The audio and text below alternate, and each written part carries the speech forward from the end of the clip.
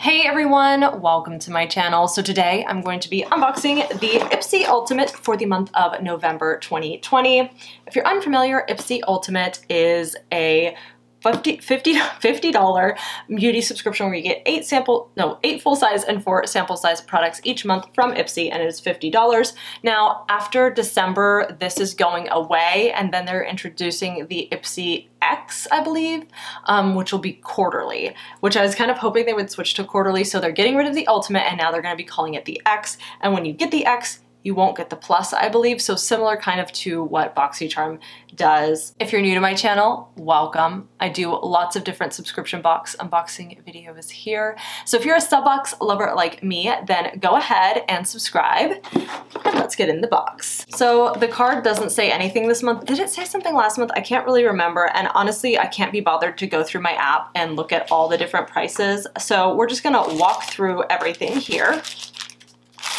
The first thing that I am pulling out is a set of sheet masks. This is a lot. So it is six. Did they mean to do that? Six different sheet masks from Honey Jarrett, and they're all the same. They are the Super Beauty masks in rose. So six of those. Then this is already like opened on its own. This, oh, this is what I picked. So this was the selection I made. This was the Byro New York Bell Pepper Serum. This is what it looks like there. Super pretty packaging.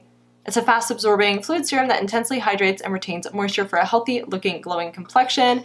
I mean, this doesn't sound like something I want for my skin, but honestly, the selections weren't that good. I'll put them somewhere up on the screen so you can see what the choices were, but the choices weren't amazing, but I went with the Byro because I know it's expensive. I don't know. The next thing out is from Filorga, and this is their Youth Performance Optim Eyes. It's an intensive revitalizing 3-in-1 eye contour cream.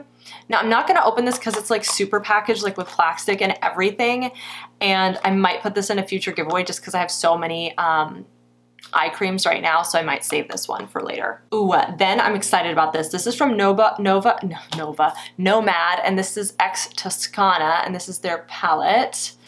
Um, it's an intense eyeshadow palette. So that's what the packaging looks like. I've had a Nomad palette before and I really love the colors. These are so gorgeous. Now, they don't perform amazing, but maybe it's because I had more of a muddled colored palette before. Actually, they do, oh wow, they, look at that. Look how creamy that is. Um, I'm gonna, not gonna lie, I have swatches on here from the video before that I forgot to take off that's what it looks like. It looks gorgeous. This was a much improved compared to the last palette that I tried from them.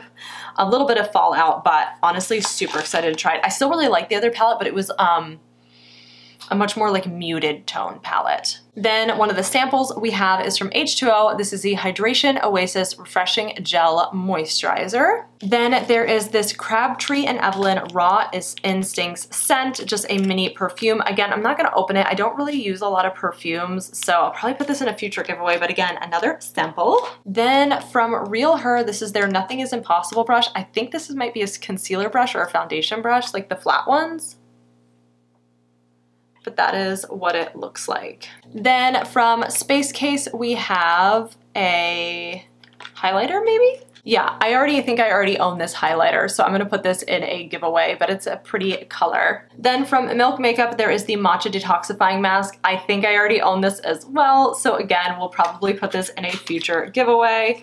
Um, but this is what the mask looks like. Then from Illamasqua, we have a clear gloss. I'm curious though, does it smell?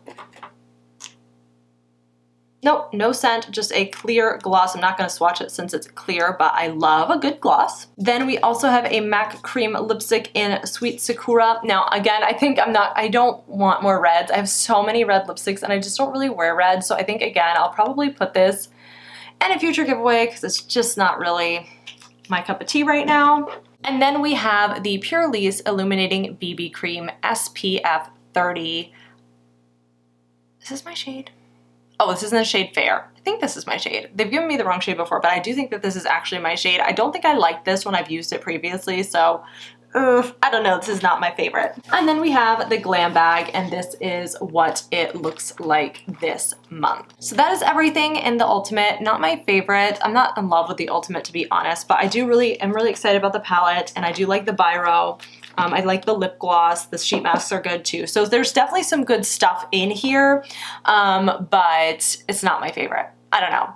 Let me know your thoughts down in the comments below. If you get the ultimate, what did you choose? And what do you think of the change? Do you think it's good that they're doing the Ipsy X and turning this one off or that's not what it's called, canceling it? I personally think it's a good thing, but definitely let me know your thoughts down in the comments below and I'll see you in my next video.